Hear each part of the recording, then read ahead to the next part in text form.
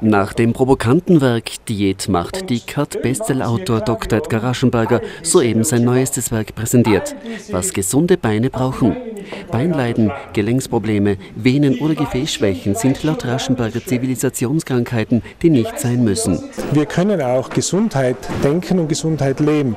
Und ich habe in diesem Buch einmal aufgezeigt, was wir alles tun können, um diesen Krankheiten vorzubeugen, sie gar nicht entstehen zu lassen. Ich glaube, dass das gerade für unsere Kinder und unsere Enkelkinder von eminenter Bedeutung ist. Im neuen Buch beleuchtet Raschenberger auch zahlreiche Irrtümer im Zusammenhang mit Beinen. Die bekanntesten Irrtümer sind dieses äh, angebliche Übereinanderschlagen der Beine sei ungesund, Fußbodenheizung ist ungesund, Wärme generell sei ungesund, Sonne sei ungesund und würde Krampfadern auslösen. Wärme kann also grundsätzlich nicht schaden.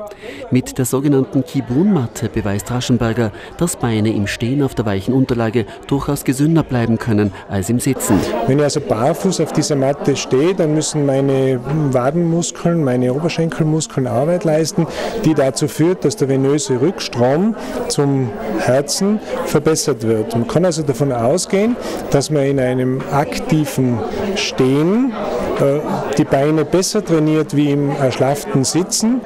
Was gesunde Beine brauchen. Das neue Buch von Dr. Edgar Raschenberger am besten gleich lesen und vor allem so oft als möglich barfuß gehen.